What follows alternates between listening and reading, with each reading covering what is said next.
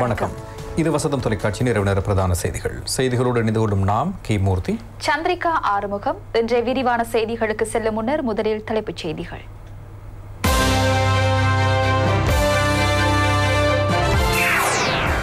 பலத்த காற்றினால் நாட்டின் பல பகுதிகளில் சேதம். இலங்கைக்கும் கம்போடியாவுக்கும் இடையில் இரண்டு ஒப்பந்தங்கள் கைச்சாத்து. பாரம்பரிய அரசியலிருந்து மீண்டும் புதிய கூட்டணியாக இணைவோம். பிரதமர் தெரிவிப்பு. கோட்டாபயவின் பிரஜா உரிமை குறித்து அமைச்சர் வஜிர விளக்கம். காஷ்மீர் நெருக்கடியினால் இந்தியாவுக்கும் பாகிஸ்தானுக்கும் இடையில் முருகல்.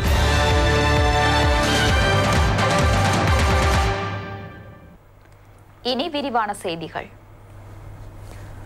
பலத்த காற்று காரணமாக இருநூற்றி தொன்னூற்றி மூன்று குடும்பங்களைச் சேர்ந்த ஆயிரத்தி இருநூற்றி முப்பத்தி நான்கு பேர் பாதிக்கப்பட்டுள்ளதாக இடர் முகாமைத்துவ மத்திய நிலையம் தெரிவிக்கிறது. அவர்களுக்கு நிவாரணம் வழங்கும் நடவடிக்கைகள் முன்னெடுக்கப்பட்டு வருவதாக அந்நிலையம் மேலும் தெரிவிக்கிறது. இதே நேரம் நாட்டின் பல பாகங்களிலும் தொடர்ந்து மழை பெய்யலாம் என வளிமண்டலவியல் திணைக்களம் எதிர்வு கூறியுள்ளது. நேற்றிரவு நாட்டின் பல பாகங்களில் பலத்த காற்று வீசியுள்ளது. இதில் இருநூற்றி எழுபத்தொரு வீடுகளுக்கு பகுதியளவில் சேதம் ஏற்பட்டுள்ளதாக இடர் முகாமைத்துவ மத்திய நிலையம் தெரிவித்துள்ளது. புத்தளம் ரத்தினபுரி கேகாலை ஆகிய மாவட்டங்களில் கூடுதலான பாதிப்புகள் ஏற்பட்டுள்ளன. வவுனியா ஹம்மாந்தோட்டை நுவரெலியா ஆகிய மாவட்டங்களிலும் பாதிப்புகள் ஏற்பட்டுள்ளன. பலத்த மழையுடன் வீசிய காற்று காரணமாக புத்தளம் மாவட்டத்தில் தொன்னூற்றி நான்கு வீடுகளும் இருபத்தி நான்கு தொழிற்சாலைகள் மற்றும் வர்த்தக நிலையங்களுக்கும் சேதங்கள் ஏற்பட்டுள்ளன. வனாத்தவில்லு காரைத்தீவு ஆகிய பகுதிகளில் மூவர் காயமடைந்துள்ளனர். இம்மாவட்டத்தில் நூறு குடும்பங்களைச் சேர்ந்த முன்னூற்றி எழுபத்தொன்பது பேர் பாதிக்கப்பட்டுள்ளதாகவும் அவர்களுக்கு தேவையான நிவாரண உதவிகள் வழங்கப்பட்டு வருவதாகவும் இடர் முகாமைத்துவ மத்திய நிலையம் தெரிவிக்கிறது. இதே நேரம் அமலாந்தொட்டு தெஹிக்கலாந்து லாய் மஹந்திய பகுதியில் பத்து வீடுகளுக்கு மழை மற்றும் காற்றினால் சேதம் ஏற்பட்டுள்ளது. பலத்த காற்று காரணமாக தம்புள்ளை பிரதேச செயலக பிரிவில் இருபத்தெட்டு வீடுகள் சேதமடைந்துள்ளதாக மாத்தலை இடர் முகாமைத்துவ பிரிவு தெரிவித்துள்ளது. பாடசாலை மாணவியொருவரும் காயமடைந்து தம்புள்ளை வைத்தியசாலையில் அனுமதிக்கப்பட்டுள்ளார். கம்பஹா யக்கல மிரிசவத்த ஆகிய பகுதிகளில் மரங்கள் முறிந்து விழுந்ததனால் வீதிகளில் போக்குவரத்து பாதிக்கப்பட்டுள்ளது.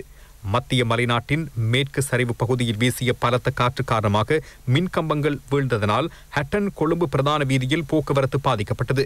காசல்ட்ரி மௌசாக்கலை நீர்த்தேக்கங்களின் நீர்மட்டமும் அதிகரித்துள்ளது.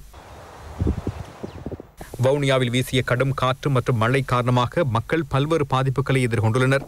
இதனால் எட்டு வீடுகள் சேதமடைந்துள்ளன. இந்த வீடுகளில் வசித்த மக்கள் தற்போது பொது இடங்களில் தங்க வைக்கப்பட்டுள்ளனர். வவுனியா சட்டிக்குளம் வவுனியா வடக்கு நெடுங்கேணி ஈரப்பெரியகுளம் ஆகிய பகுதியில் உள்ள வீடுகளை இவ்வாறு சேதமடைந்திருப்பதாக மாவட்ட அனர்த்த முகாமைத்துவ மத்திய நிலையம் தெரிவிக்கிறது. திருகோணமலை கந்தலாய் பகுதியில் வீசிய கடும் காற்று காரணமாக அல் தாரிக் மகா வித்தியாலயத்திற்கு அருகாமையில் உள்ள பனைமரம் ஒன்று வீட்டின் மேல் சரிந்து விழுந்துள்ளது. இதனால் வீட்டில் இருந்த பெண்ணொருவர் பலத்த காயங்களுக்குட்பட்டுள்ளார். அவர் கந்தலாய் தல வைத்தியசாலையில் அனுமதிக்கப்பட்டு சிகிச்சை பெற்று வருகிறார். நேற்றிரவு மழையுடன் வீசிய பலத்த காற்று காரணமாக பல வீடுகள் சேதமடைந்துள்ளன. சேத விவரங்கள் மதிப்பிடப்பட்டு கிராம உத்தியோகத்தர் ஊடாக நட்டையீடு வழங்கும் நடவடிக்கைகள் முன்னெடுக்கப்பட்டுள்ளன. இடர் முகாமைத்துவ அமைச்சினூடாக நிதி உதவிகள் வழங்கப்படுகின்றன. தேசிய காப்புறுதி பொறுப்பு நிதியத்தின் ஊடாக அந்தந்த மாவட்டங்களுக்கு தேவையான நிதி ஒதுக்கப்படுகின்றது. இதுவரை நால்வர் காயமடைந்துள்ளனர். முன்னூற்றி தொன்னூற்றி மூன்று குடும்பங்களைச் சேர்ந்த ஆயிரத்து நூற்றி தொன்னூற்றி மூன்று பேர் பாதிக்கப்பட்டுள்ளனர். மலேக மக்கள் மண் சரிவு அச்சுறுத்தல் தொடர்பாக எச்சரிக்கையாக இருக்குமாறு கேட்டுக்கொள்கின்றோம் ஏதேனும் அச்சுறுத்தல் ஏற்பட்டால் ஒன்று ஒன்று ஏழு எனும் தொலைபேசி இலக்கத்திற்கு தொடர்பு கொண்டு அறிவிக்கலாம் යම් ගැටලුකාරී තත්වයක් ඇත්නම් එකයි එකයි හත දුරකථන අංකය ඔස්සේ සම්බන්ධ විය හැකි වෙනවා. දිවයිනේ මේ දිනවල තිබෙන කාලගුණික තත්වය ගත්තම මේ நாட்டை சூழவுள்ள கடலில் காற்றின் வேகம் அதிகரித்து காணப்படுகின்றது. நாட்டின் வடபகுதி கடலில் இந்த நிலை பரவலாக காணப்படுகின்றது. புத்தளத்திலிருந்து காங்கேசன் துறையூடாக திருகோணமலை வரையிலான கடல் பகுதியிலும் ஆழ்கடல் பகுதியிலும் கரைப்பகுதியிலும் கரையோரங்களிலும் அறுபது தொடக்கம் எழுபது கிலோமீட்டர் வேகத்தில் காற்று வீசலாம். வங்காள விரிகுடாவின் தாழ் அமுக்கமே இதற்கான காரணமாகும். வங்காள விரிகுடாவிலிருந்து வடக்கு மற்றும் மத்திய அரபுக்கடலின் காற்றின் வேகம் எழுபது தொடக்கம் எண்பது கிலோமீட்டராக காணப்படலாம். நாட்டின் தென்கிழக்கு பகுதியூடாக காற்று வீசுவதனால் மழை வீழ்ச்சி அதிகரிக்கலாம். மேற்கு தெற்கு மத்திய வடமேல் மாகாணங்களில் மழை அல்லது இடியுடன் கூடிய மழை பெய்யலாம்.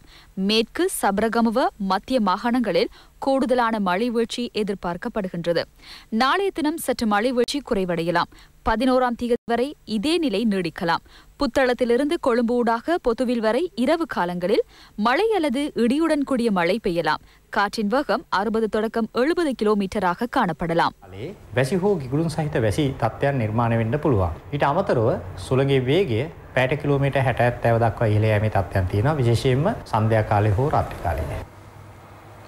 ஜனநாயகத்தை பலப்படுத்தி நாட்டை முன்னெடுத்து செல்வதற்கு புதிய கருத்துக்களுடன் கூட்டணியாக இணைய வேண்டும் என பிரதமர் ரணில் விக்ரமசிங்க தெரிவித்துள்ளார்.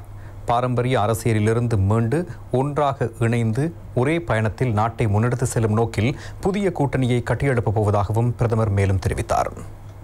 நகர அபிவிருத்தி அதிகார சபை ஏற்பாடு செய்த த அபிமானி பாராட்டு விழா சுகததாச உள்ளக அரங்கில் பிரதமர் ரணில் விக்ரமசிங்க தலைமையில் இடம்பெற்றது. ஜனநாயகத்தை பாதுகாத்து வெள்ளவன் கலாச்சாரத்தை ஒழித்து நீதிமன்றங்களை அச்சுறுத்தாமல் ஜனநாயகத்தை பலப்படுத்தி புதிய நாட்டை கட்டியெழுப்ப வேண்டும். சிலர் கூறுகிறார்கள் எமக்கு சர்வாதிகாரம் அவசியம் என்று. சர்வாதிகாரம் அவசியம் இல்லை என நாம் கூறுகிறோம்.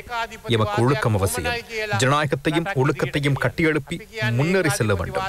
இந்த மாற்றத்தை ஏற்படுத்திய நாம் பாரம்பரிய அரசியலிலிருந்து மீண்டு முன்னேறி செல்ல வேண்டும். அதற்காக நாம் கூட்டணிய வேண்டும். புதிய கருத்துக்களுடன் முன்னேற வேண்டும். கூட்டமைப்பு தொடர்பாக பேச்சுவார்த்தை நடத்தி இருக்கிறோம் அந்த கூட்டமைப்பை ஏற்படுத்தி இருக்கிறோம் அந்த கூட்டணியில் ஒன்றாக இணைந்து பயணிக்க வேண்டும். அந்த கூட்டணி பலமான கூட்டணியாக அமைய வேண்டும். இன்று நாட்டில் அரசியலிலும் மாற்றங்கள் ஏற்பட்டுள்ளன. இன்று கூட்டணி அரசியல் ஏற்பட்டுள்ளது. மூன்று கூட்டணிகள் ஏற்பட போகின்றன. மூன்று பிரதான கட்சிகளின் தலைமைத்துவங்களின் கூட்டணிகள் உருவாகின்றன. கூட்டணிகள் ஊடாகவே அடுத்த ஜனாதிபதி தேர்தலும் இடம்பெறப் போகிறது.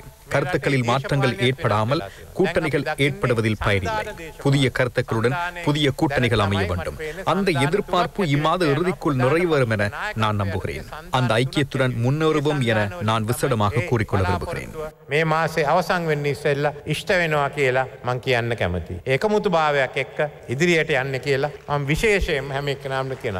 அமைச்சர் பாட்லி சம்பிக்க ரணவக்க அங்கு உரையாற்றுகையில் கடந்த அரசாங்கம் வீடுகளில் இருந்து பலாத்காரமாக மக்களை வெளியேற்றியதாகவும் கொழும்பில் உள்ள குடிசைவாசிகளுக்கு நிரந்தர வீடுகளை நிர்மாணித்துக் கொடுக்க தற்போதைய அரசாங்கம் நடவடிக்கை எடுத்ததாகவும் தெரிவித்தார்.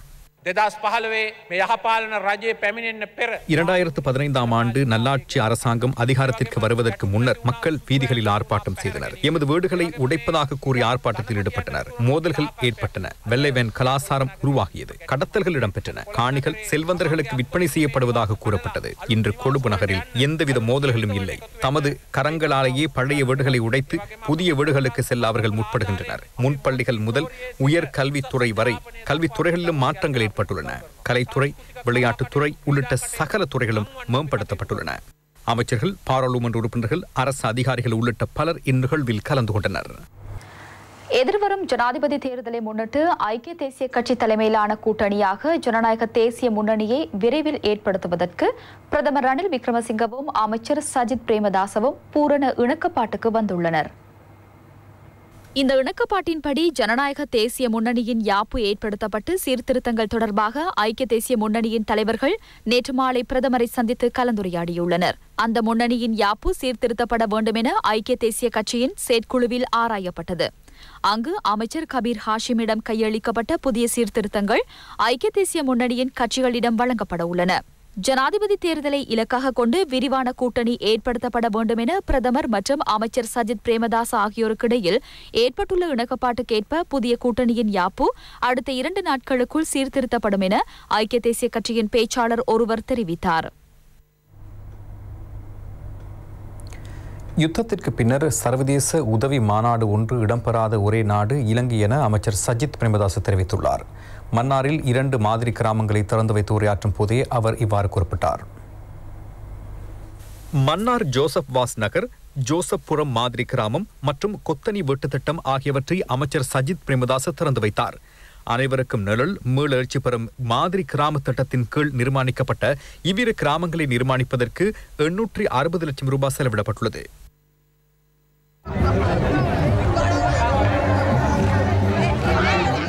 விசிறி வீடமைப்பு கடன் வழங்கும் நிகழ்வும் இடம்பெற்றது. வண்டி மாவட்ட பாராளுமன்ற உறுப்பினர் செல்வம் அடைக்கலநாதன் உள்ளிட்ட பலர் இதில் கலந்து கொண்டனர். யுத்தம் ஒன்று முடிவடைந்து சர்வதேச உதவி பெறும் மாநாடு ஒன்றை நடத்தாத நாடு எமது நாடாகும். உடனடியாக எமது நாட்டுக்கு உதவி பெறும் மாநாடு ஒன்றை நடத்துமாறு ஐக்கிய நாடுகள் ஸ்தாபனத்திடம் கோர வாய்ப்பிருந்தது அவர்கள் அதனை மறந்துவிட்டார்கள். யுத்தத்தை முடிவுக்கு கொண்டு வந்தவுடன் எவ்வாறு அரசியல் கொடுக்கல் வாங்கல்களை செய்வது என்பதே அவர்களின் நோக்கமாக இருந்தது. பெற்ற வெற்றியுடன் தாம் எவ்வாறு ஆழ்வது என்பதே அவர்களின் நோக்கமாக இருந்தது. நீங்கள் சரியான முடிவுகளை எடுத்து சஜித் பிரேமதாசவின் கரங்களை பலப்படுத்தினால் ஆறு மாதங்களுக்குள் சர்வதேச உதவி பெறும் மாநாட்டை இலங்கையில் நடாத்தி அதி உயர் உதவிகளை பெற்று எமது தாயகத்தை அபிவிருத்தி செய்வேன் என நான் உறுதியளிக்கிறேன்.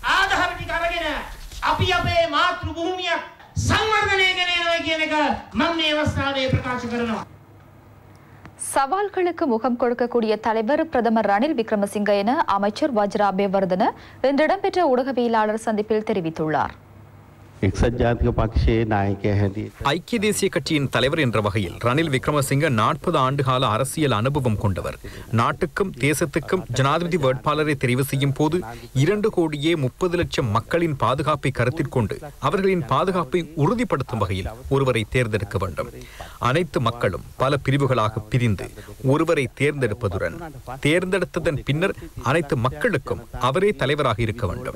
நாட்டின் சகல துறைகள் பற்றியும் சிறந்த அனுபவமும் ஆற்றலும் கொண்ட ஒருவராக தேர்ந்தெடுக்கப்படுபவர் இருக்க வேண்டும் நாட்டுக்கு பொருந்தக்கூடிய அனைவரையும் ஒன்றாக இணைக்கக்கூடிய ஒருவராக பிரதமர் ரணில் விக்ரமசிங்கவையே நான் கருதுகிறேன் ගැලපෙන නොගැලපෙන සියලු දේශපාලන කණ්ඩායම් එකට වාඩි කරගන්න පුළුවන් නායකයෙක් ඉන්නවනම් ඒ ජාතික නායකත්වය රනිල් වික්‍රමසිංහ මැත්තුමක්.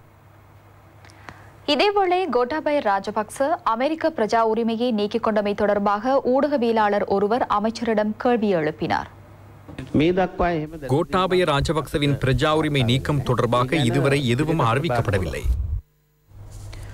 வெளிநாடுகளில் இலங்கையர்களுக்கு கூடுதலான தொழில் வாய்ப்புகள் கிடைத்துள்ளதாக அமைச்சர்களான மங்கள சமரவீர மற்றும் ஹரின் பெர்னாண்டோ ஆகியோர் தெரிவித்துள்ளனர். ரன் பியாபத் வேலி திட்டத்தை ஆரம்பித்து வைத்து உரையாற்றும் போதே அவர்கள் இவ்வாறு தெரிவித்தனர். வெளிநாடு செல்லும் இலங்கையர்களுக்கு இலங்கை வெளிநாட்டு வேலைவாய்ப்பு பணியகத்தின் ஊடாக வழங்கப்படும் சேவைகளை மக்கள் மயப்படுத்தும் திட்டமாக ரன் பியாபத் திட்டம் அமைகிறது. வெளிநாடு செல்லும் இளைஞர்களுக்கு தொழிற்பயிற்சி வழிகாட்டல்கள் விசட கடன் வசதிகள் காப்புறுதி போன்றவற்றை வழங்க இவ்வேலை திட்டம் உதவுகிறது. அமைச்சர்கள் உள்ளிட்ட பலர் இதில் கலந்து கொண்டனர். கொரியாவை ஜப்பானு அது அப்பகே கொரியாவிலும் ஜப்பானிலும் எமது நாட்டவர்களுக்கு வேலைவாய்ப்பு வழங்க வாசல்கள் திறந்துள்ளன. அமெரிக்கா ஜெர்மன் போன்ற நாடுகளிலும் தாதியர்கள் தொழில்நுட்பவியலாளர்களுக்கு வாய்ப்புகள் வழங்கப்பட்டுள்ளன. இலங்கை தொழிலாளர்களுக்கு கூடுதலான வாய்ப்புகள் வழங்கப்படுகின்றன.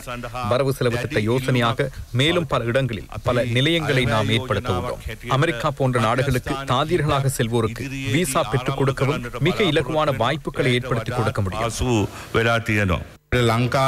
වෙලා තියෙනවා. ලංකාව ජපානය වගේ පුහුණු இலங்கையின் செயற்பாடுகளை மாற்றியமைக்கக்கூடிய ஒரு சந்தர்ப்பமாக தற்போதைய சூழலை மாறியுள்ளது பத்து ஆண்டுகளுக்கான விசா வழங்கப்படுகிறது அறிந்து கொண்டு பயணத்தை மேற்கொண்டால் இடைநடுவில் தவிக்க வேண்டி ஏற்படாது அவ்வாறு அறிந்து கொள்ளாமல் சென்றால் இடைநடுவில் தவிக்க வேண்டி ஏற்படலாம் புதிதாக சிந்திப்போம் புதிதாக செயற்படுவோம் ඒ රටේදී අතරබං වෙන්නට පත්වෙන්නේ තිය නිසා අපි අද අලුතින් හිතමු අලුත් විදිර මේ සියලුදේ දකිමු தான் அமைச்சு பொறுப்புகளை ஏற்றுக்கொண்டதன் பின்னர் புற்றுநோய் நிறுவனம் சிறுவர் வைத்தியசாலை மகப்பேற்று வைத்தியசாலை ஆகியவற்றின் எண்ணிக்கை அதிகரிக்கப்பட்டதாக அமைச்சர் ராஜித சேனாரத்ன தெரிவித்தார்.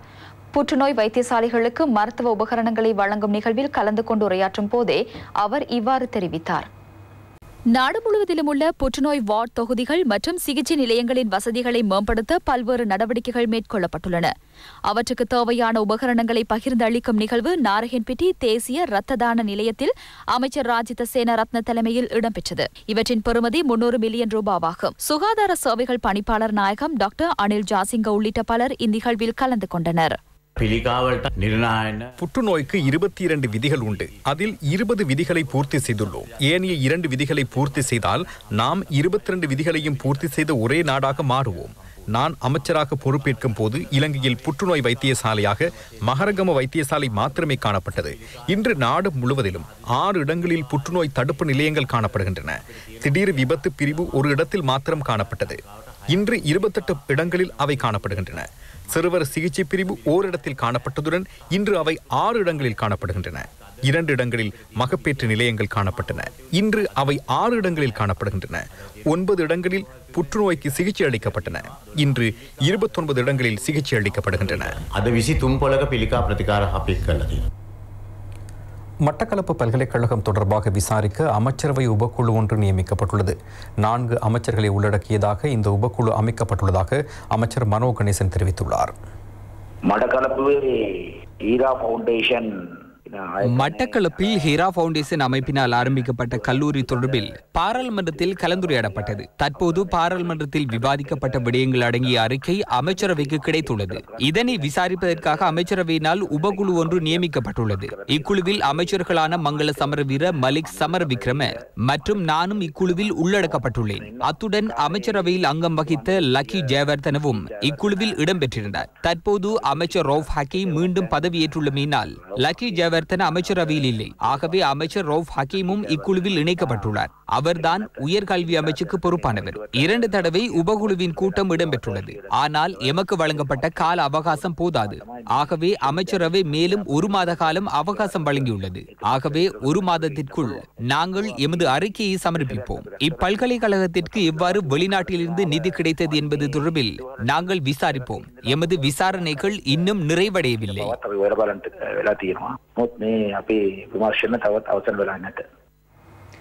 கொழும்பு ஃபாத்திமா முஸ்லிம் மகளிர் கல்லூரியின் இஸ்லாமிய தின விழா இன்று இடம்பெற்றது.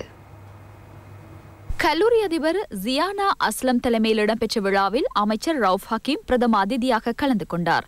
இஸ்லாமிய தின போட்டிகளில் வெற்றியீட்டியோருக்கு அமைச்சர் பரிசில்களையும் சான்றிதழ்களையும் வழங்கி வைத்தார். கல்லூரியின் பழைய மாணவர்கள் பாடசாலை அபிவிருத்தி திட்ட உறுப்பினர்கள் என பலர் இந்நிகழ்வில் கலந்து கொண்டனர்.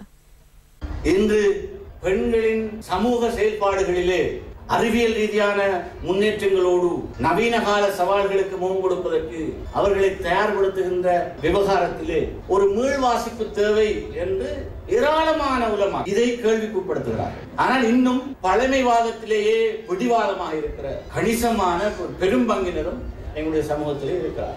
இந்த முழு முஸ்லிம் சமூகம் சம்பந்தமான மோசமான விமர்சனங்கள் முஸ்லிம் சமூகத்துக்கு வெளியிலே இருந்து சொல்லப்படுகிற ஒரு காலம்.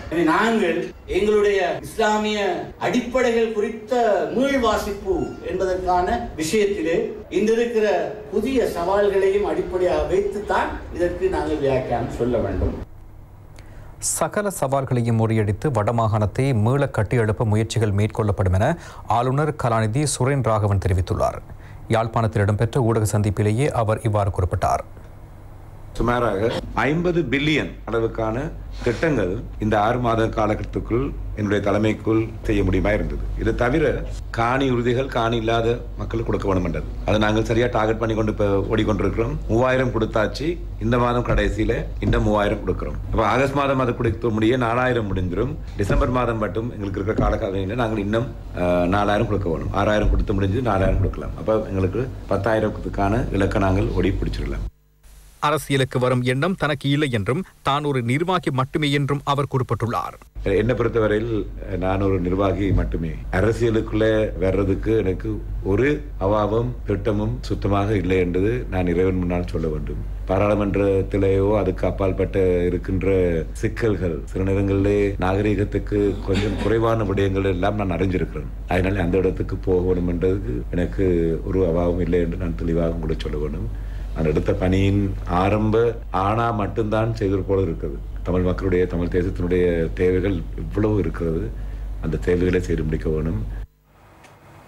கோப் குழு கூட்டத்தின் சகல நடவடிக்கைகளையும் நாளை முதல் சகல ஊடகங்களுக்கும் அறிவிக்க முடியும் என சபாநாயகர் கரு ஜெயசூரிய தெரிவித்துள்ளார்.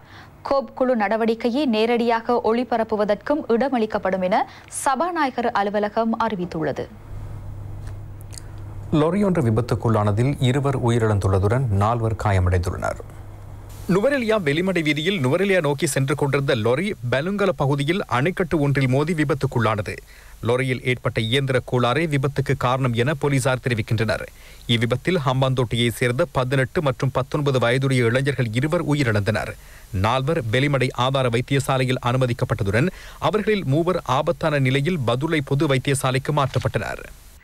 கைதடி மானிப்பாய் பிரதான வீதியில் உரும்பராய் பகுதியில் இடம்பெற்ற விபத்தில் முப்பது வயதுடைய இளைஞர் ஒருவர் உயிரிழந்துள்ளார். இயக்கச்சி பகுதியைச் சேர்ந்த இளைஞர் ஒருவரே இவ்வாறு உயிரிழந்தவர் ஆவார் கிளிநொச்சி பகுதியிலிருந்து மணல் ஏற்றி வந்த டிப்பர் வாகனம் மீது எதிர் திசையில் பயணித்த குறித்த மோட்டார் சைக்கிள் அதே திசையில் குறுக்கு வீதியிலிருந்து பிரதான வீதிக்கு நுழைய முற்பட்ட பிரிதொரு மோட்டார் சைக்கிளுடன் மோதி பின்னர் டிப்பர் வாகனத்துடனும் மோதி இந்த விபத்து சம்பவித்துள்ளதாக போலீசார் தெரிவித்தனர். இவ்விபத்தில் இறந்தவரின் சடலம் யாழ் போதனா வைத்தியசாலையின் பிரேத அறையில் வைக்கப்பட்டுள்ளது.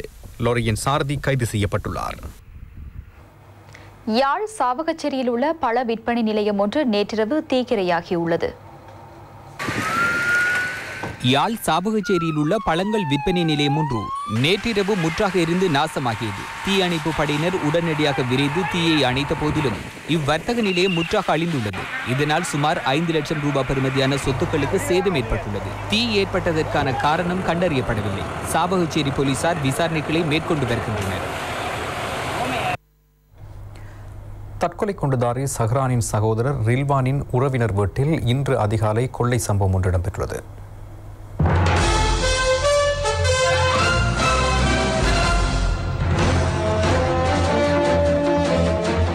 சாய்ந்த மரத்தில் தற்கொலை குண்டுதாரியாக உயிரை மாய்த்து கொண்ட சஹ்ரானின் சகோதரர் ரில்வானின் மாமியார் வீட்டிலேயே இக்கொள்ளைச் சம்பவம் இடம்பெற்றுள்ளதாக காத்தான்குடி போலீசார் தெரிவித்துள்ளனர். காத்தான்குடி ஆறாம் குறிச்சியில் ரில்வானின் மாமனாரும் மாமையாரும் மட்டக்களப்பு சிறைச்சாலையில் விளக்கமறியலில் வைக்கப்பட்டுள்ள நிலையில் இவரது வீட்டில் இத்திருட்டுச் சம்பவம் இடம்பெற்றுள்ளது. வீட்டில் இருந்த பல பெறுமதியான பொருட்கள் திருடி செல்லப்பட்டுள்ளதாக போலீசார் மேலும் தெரிவித்தனர்.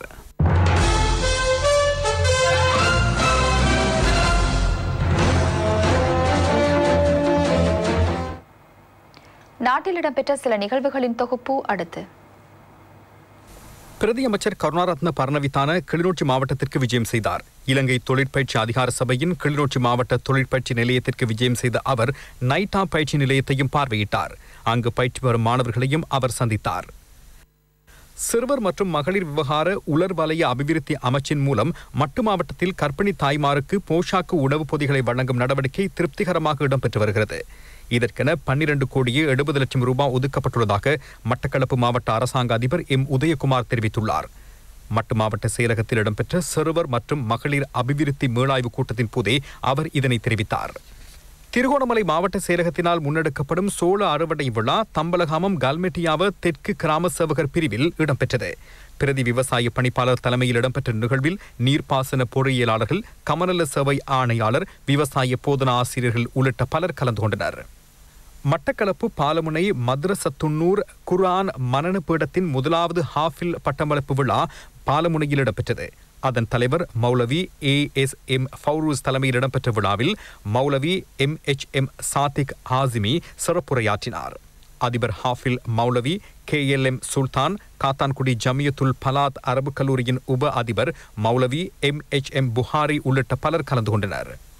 பரகஹத்தெனிய தேசிய பாடசாலையில் சாதனையாளர் கௌரவிப்பு விழா கல்லூரி மண்டபத்தில் இடம்பெற்றது. அதிபர் சபருல்லா கான் தலைமையில் இடம்பெற்ற விழாவில் ராஜாங்க அமைச்சர் ஜே சி அலவத்துவல பிரதம அதிதியாக கலந்து கொண்டார். மாவத்தகம பிரதேச சபையின் எதிர்க்கட்சித் தலைவர் முகமது ரியால் உள்ளிட்ட பலர் இதில் பிரசன்னமாகியிருந்தனர். விளம்பர இடைவெளியின் பின்னர் சர்வதேச செய்திகளை எதிர்பாருங்கள். இத்துடன் வசந்தம் டிவியின் இன்றைய செய்திகள் நிறைவு பெறுகின்றன எமது அடுத்த பிரதான செய்தினை நாளை மதியம் ஒரு மணிக்கு எதிர்பாருங்கள். வணக்கம்.